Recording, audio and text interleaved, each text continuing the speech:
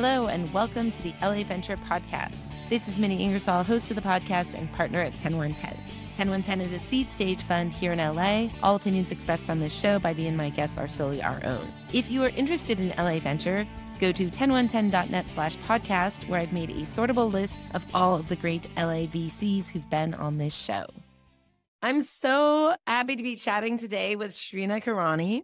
Shrina is a venture specialist for iBank, running the state of California venture program. She has a background in climate tech at Snowcap. She has been supporting underrepresented founders. She recently ran for Congress two years ago. Prior to that, she was a vice president at crowdfunding platform Republic. Truly, so much to talk about today. Perfect. Great. I had to practice the intro because, Shrina, you have a lot going on. And iBank really is extremely unique. So I thought we could start there. Yeah, no, of course. Happy to happy to start. And thank you so much, Minnie, for having me on. It's so incredible all the work that you're doing in the LA ecosystem. So I can back up a little bit and just share sort of what this program is, how it got started, obviously the state of California is an incredible place for venture capital. I think the rest of the country, if not the rest of the world, really sees California sort of as the home of VC. As we look at the state, though, we can also see that it's very concentrated in terms of geography, in terms of who has access. And so, a big part of the state's mission with this new program is to actually build a more inclusive venture capital ecosystem. Um, and so, the program got stood up about a year ago now. And the goal is to support both emerging fund managers as well as companies that are working across the state that have underrepresented fund managers, underrepresented entrepreneurs, underinvested parts of California, as well as climate justice and equity. And so we have a $250 million program that we can actually start getting those dollars into the hands of entrepreneurs um, and fund managers that are doing incredible work across the state. It's such a great program. And what are you seeing in terms of fund managers being and diverse fund managers being able to raise in this environment?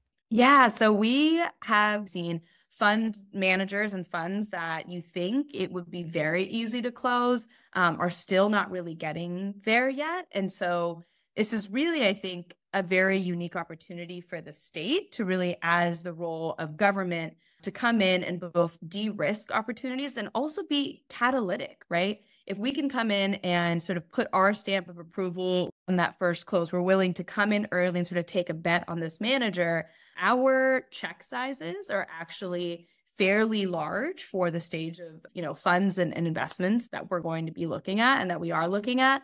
So we have a sort of first time institutional manager program. So we're looking at first time funds you know minimum is still about 50 million because our check size is 5 million, mm-hmm. right? So we're looking at an average check size is 5 million which gives us you know about 10% of the fund.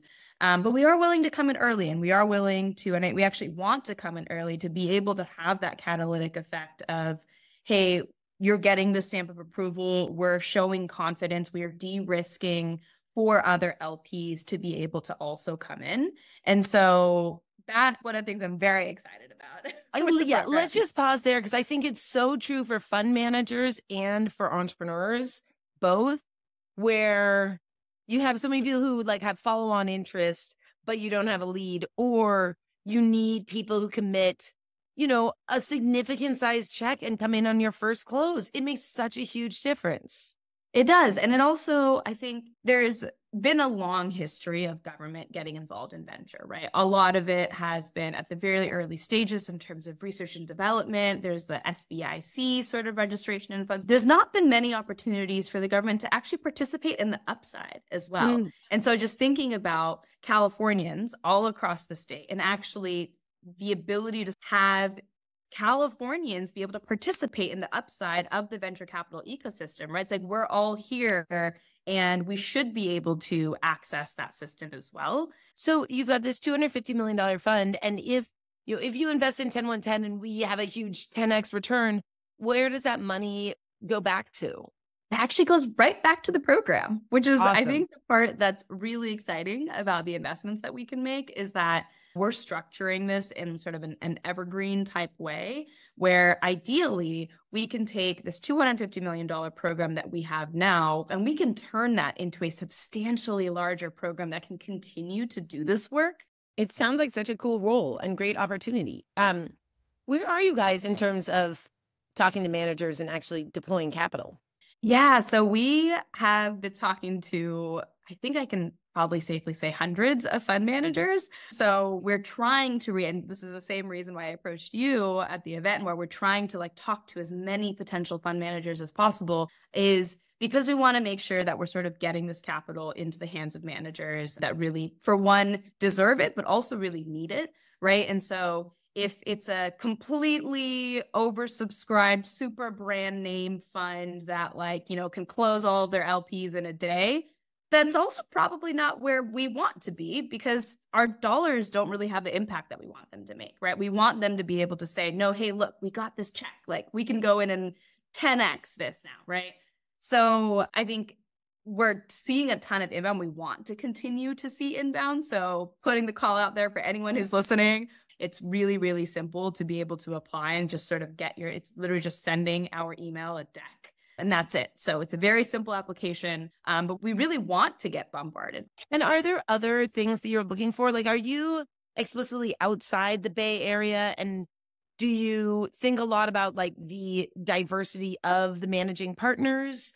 Yeah. So what we're looking for is across the state of California, right? So we're not exclusive to any area or to any type of fund manager or anything like that. We're just thinking about where is capital currently being concentrated and how can we expand access to that and so obviously the la ecosystem is a part of that there, there's so much happening in california but it feels like so much of it is concentrated in the bay. And so it's not to say that we're not going to invest in funds of the bay. Actually, our first fund was a fund out of the bay, but it's more that we want to make sure that those dollars are going to to managers, like I said, that both deserve it and need it. So the criteria is really across the state, we have to be able to show an economic benefit to the state of California, right?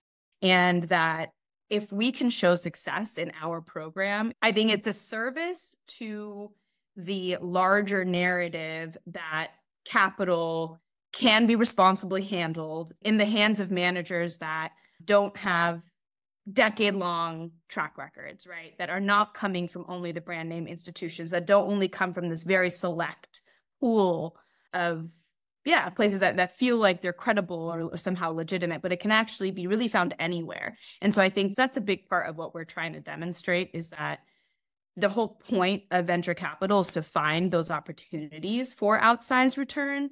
Great. And who's the team? Like, how did you get involved? How do people, you know, interact with iBank? Yeah, so our team is actually very small.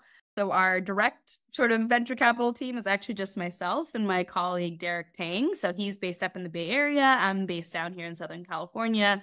A lot of our team comes from private sector as well, which I I also think is nice to be able to have that interplay into government. So the executive director of our agency, Scott Wu, used to lead the Omidyar network. So he had his days at ON and sort of brings that lens in. So I think one of the things that we've been excited about, for example, is the initial program was set up through United States Treasury. So that was a $200 million program. And as with any federal program, there's all sorts of you know rules and, and limitations that sort of are different from how a traditional LP might participate. And so we actually raised an additional or have an additional $50 million state supplement fund that allows us to sort of patch over some of those areas that might cause problems for fund managers, including cash flow, including you know being able to participate in certain follow-on rounds. And it just solves for a lot of the issues. Great. So it's 200 from the treasury 50 from the state and did you get involved because you were running for Congress and getting more involved with politics in California? Yeah, I, I think that's a big reason why I was started looking at opportunities with the state, actually. I ran for Congress in 2022 and was sort of recognizing a lot of the gaps in terms of our financial ecosystem, in terms of climate, and a lot of the issues that we're actually, to a certain extent, solving for with this program with the state. And Uh, unfortunately, didn't make it through the election, but uh, I think there is a recognition that there's a lot of ways that government can be helpful, right? And when I saw the opportunity with the state of California, it almost looked like Chat GPT had like taken my resume and turned it up and turned it into a job description. I'm super curious, like going through running for Congress and just seeing a lot of what you said about like where the state can have impact. Like, where did you get disillusioned and or where did you get more energized? Yeah. I mean, I think as you navigate all the processes, it's easy to get disillusioned with the bureaucracy, right? So it's easy to say, well, you know, the government doesn't understand how X, Y, and Z is done, or if only it could be as fast and as nimble as aspects of private sector. I think a part of that is actually by design. But I think that there can often be this sense that well, the rules have already been set. And so there's no way that they can be changed, or you're sort of having to work within a set of constraints. Whereas in the world of technology, you're sort of just breaking everything down and sort of rebuilding everything from scratch, right? We don't want our governments to work that way, right? Like we want there to be some more stability and for there to be some more structure. And so I think the parts that are exciting for me is when we can sort of bring back collective feedback and then actually implement the changes that we need, right? And that in like a very high level sense is basically just like a call to vote, right? It's like have your voice be heard. And then on a micro scale within the government, it's the state supplement that I was referring to, right? It's like seeing some of these issues of an emerging manager that's raising a $50 million fund that has limited management fees. And if you're unable to fulfill all the fees and expenses, then you're basically taking someone who's already facing a lot of barriers, so many obstacles, firm building, getting everything sort of off the ground, wearing all these hats at once, and then further impeding their ability to succeed. It's still something that is hard for me, but I'm like a move fast sort of person. But like the stability as a concept, that we want stability in our government. I don't disagree with it, but it's a hard one sometimes to live in practice, I guess. It is. I mean, and especially coming from the world of tech, right? Where things are moving so quickly. And if, if things are, are stable for too long, then you're wondering what's wrong. So I think it's this like stable foundation that we're able to build on top of that allows the innovation and um, the taking on of that risk to happen. And I think that is is really the premise of programs like the one that we're administering with the state is we're putting in that $5 million, we're putting in that $10 million early to de-risk to allow the fund to go and take very risky bets you know in the world that is vc and to allow companies to have the capital they need to solve these big problems that can only be done in these very quick iterations right? So i think it's it's actually kind of the, the perfect pairing. Agree. We talk about providing stability and support to our entrepreneurs so they feel empowered to go take big risks. But that's a big cry from running for congress. Like, how, why did you decide to do that? Yeah, it's a, it's a great question. I think a big part is what we've just been discussing. At least my perception was that there was a disconnect between this is through a lot of my work actually with Republic. Um, so I was building a fintech platform that's you know democratizing access to capital and investing, and a lot of that work uh, was also regulatory, right? It's sort of opening up access. It's sort of looking at and potentially seeing how we can change the rules around who has the ability to raise capital, who has the ability to invest, how much can they invest, what types of risk are they taking on, and how much of that is for the government to dictate versus individuals to sort of take on their own risk, right? And how do we protect consumers and protect individuals and retail investors while also allowing them to participate in a lot of that upside.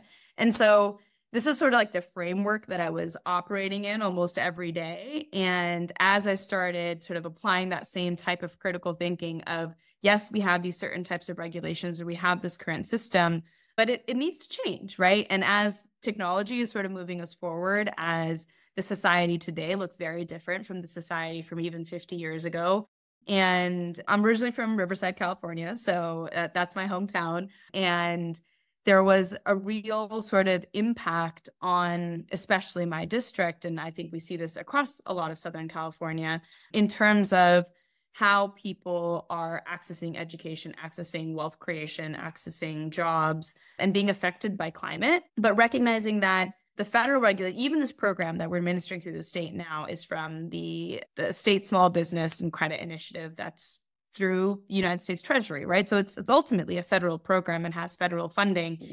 So there's amazing things that the government can do. We've seen the IRA, we've seen great bills get passed in the past few years. And there is so much potential, but there's also a lot of backlog and it sort of needs more voices at the table that represent the future. And so just really wanting to serve and be a part of that change, I think is is a big part of what really pushed me to run. Yeah, okay. Uh, so many questions. I want to ask about all of these. But running for Congress, I think uh were your parents immigrants? They were. Yep. Okay, so it's not like they were, you know, your dad served in Congress. It's not like a you knew all about running for Congress. No. okay, you were young, you're still young. So I can feel all that passion. And yet I, I know a lot of people who are passionate and don't decide, oh, I'm going to run for Congress or know how to. So some of my question there is just like, great, I want to run for Congress. How do you start? It's not too dissimilar from starting a company. Mm. So I actually sort of put my founder hat back on and I set up my campaign in a very similar way to how I've worked at and built companies in the past. So for one, we were incredibly scrappy. We are were very focused on like hitting very like specific metrics and milestones.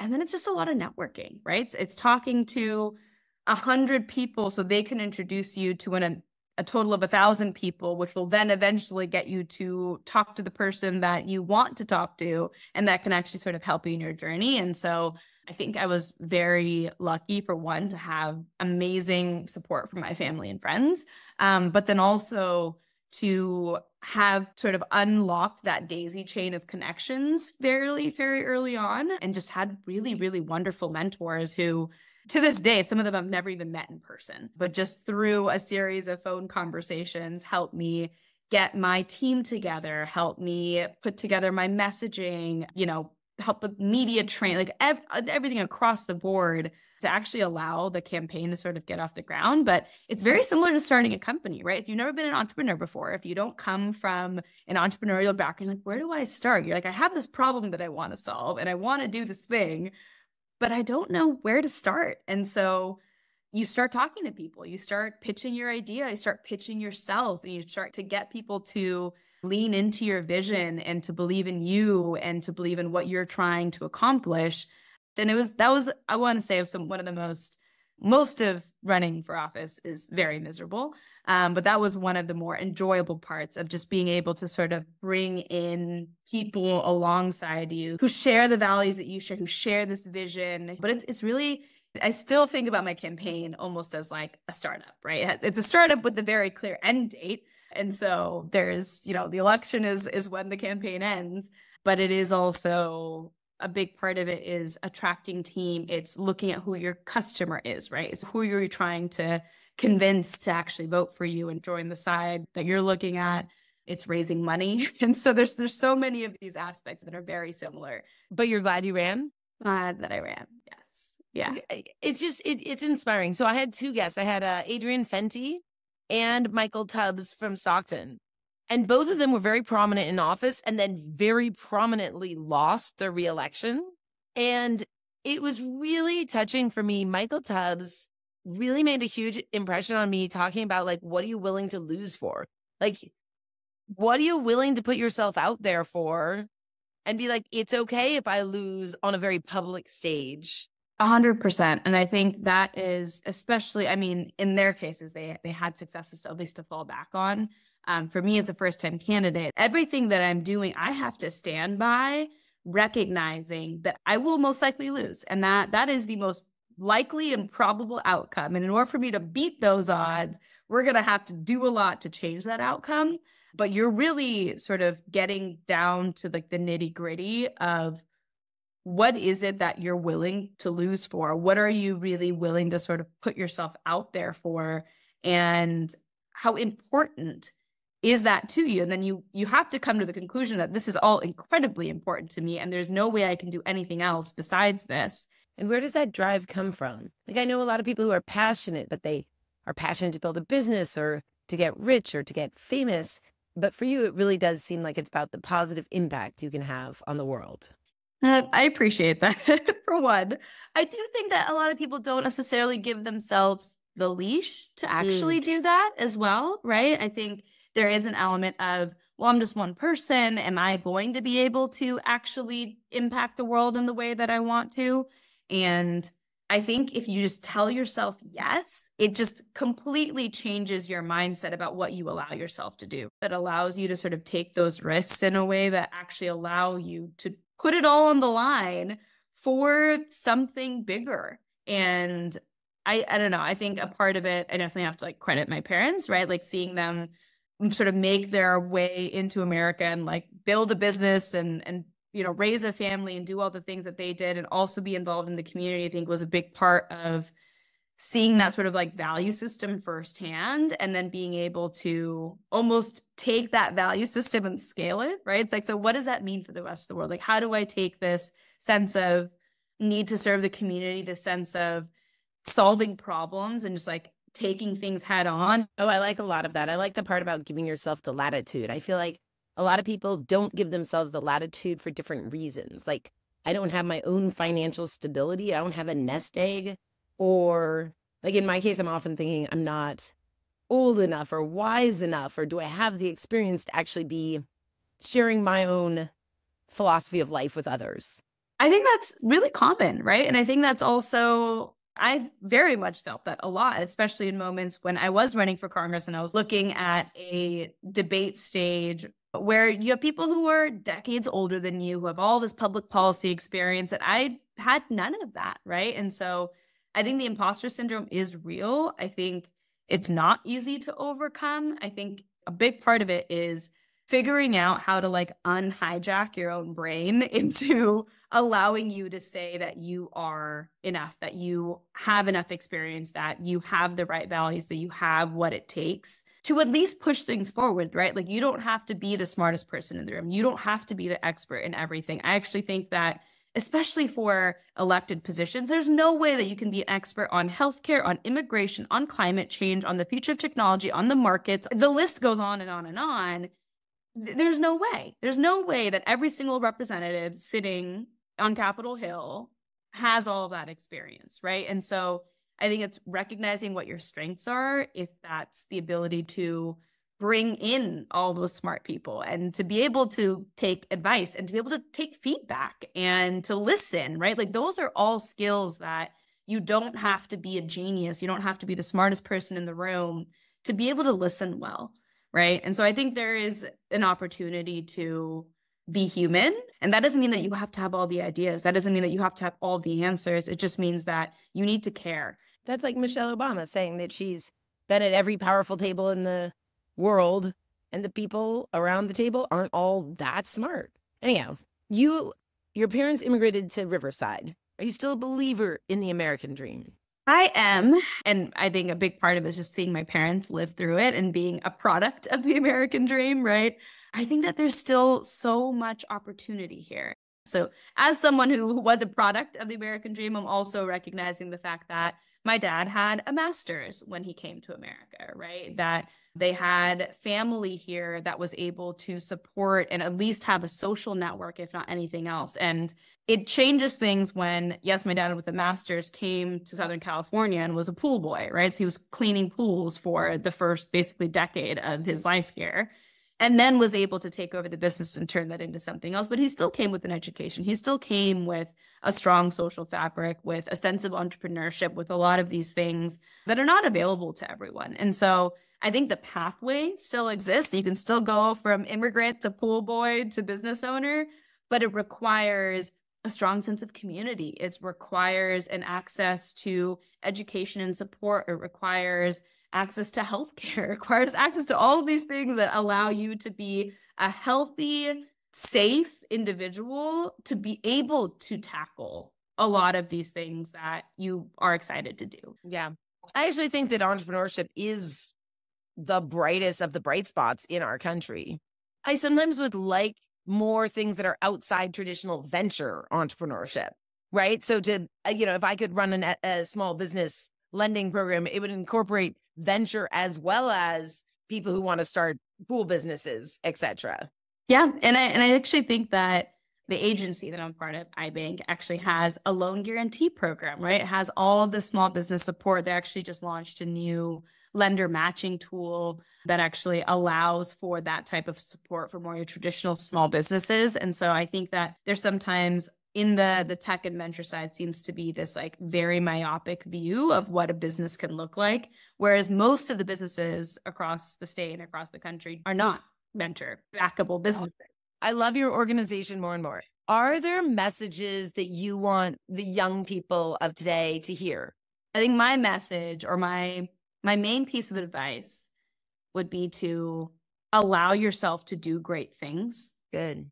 And i think that's something that as I've taken a lot of risks throughout my career and taken very sharp turns from being an engineer and having my first project be, you know, working on a lunar outpost on the south side of the moon for NASA through to starting a company and running for office. Totally. I see, I mean, the role of VC and being in entrepreneurship, you just see that certain individuals move our society. And I don't think it's because only certain individuals have that in them, but they allow themselves to access it for whatever reason.